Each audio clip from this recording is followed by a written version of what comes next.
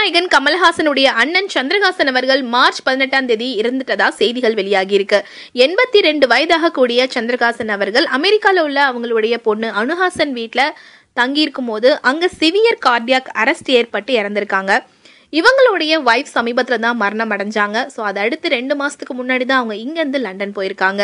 சந்திரஹாசன் அவர்கள் தமிழ் தெலுங்கு உட்பட இருபத்தி ரெண்டு படங்கள்ல நடிச்சிருக்காங்க. அது மட்டும் இல்லாமல் கமலுடைய ப்ரொடக்ஷன் பேனரான ராஜ் கமல் ஃபிலிம் இன்டர்நேஷனலில் அட்மினிஸ்ட்ரேட்டராகவும் பார்ட்னராகவும் இருந்திருக்காங்க.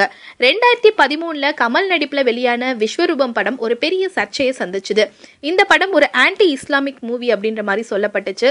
ஸோ அதை தொடர்ந்து நிறைய முஸ்லீம் அமைப்புகளோட பேச்சுவார்த்தைகள் நடத்தப்பட்டு அதுக்கப்புறம் நிறைய கட்ஸோட இந்த படம் ரிலீஸ் ஆச்சு. ஸோ இந்த பேச்சுவார்த்தைகளில் கமல்ஹாசனுடைய அண்ணன் சந்திரஹாசன் அவர்களுக்கு முக்கிய பங்கு இருக்கு அப்படின்றது குறிப்பிடத்தக்கது. இந்த மாதிரியான நிறைய சினிமா அப்டேட்ஸ் தெரிஞ்சுக்க ஃபில்மி ஃபோக்கஸை சப்ஸ்கிரைப் பண்ணுங்க.